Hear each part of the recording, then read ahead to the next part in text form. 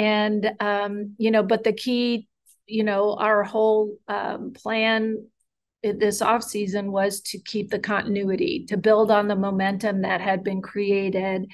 And yeah, we lost Dennis Schroeder, who um, right. you know, I think Darvin Ham was really instrumental in him coming back to the Lakers because he'd already been a Laker and it didn't go well. And, you know, Darvin really believed in him. And I think that's really shown how he played at the uh, World Cup.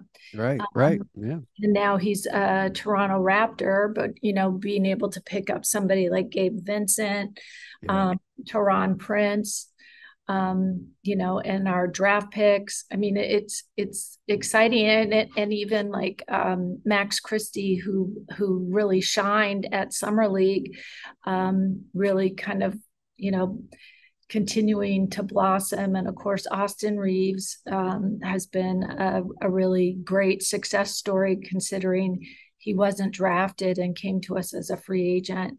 Um, you know, so there, there's a lot of, of good things to look for forward to the season. But you know what?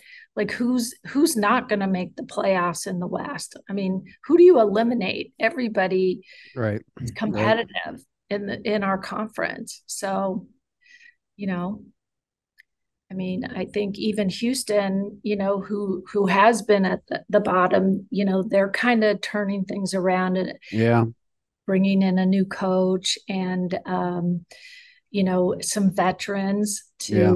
you know play with the young guys. You know, I mean, just it, it's going to be really tough. so, got we got our work cut out for us.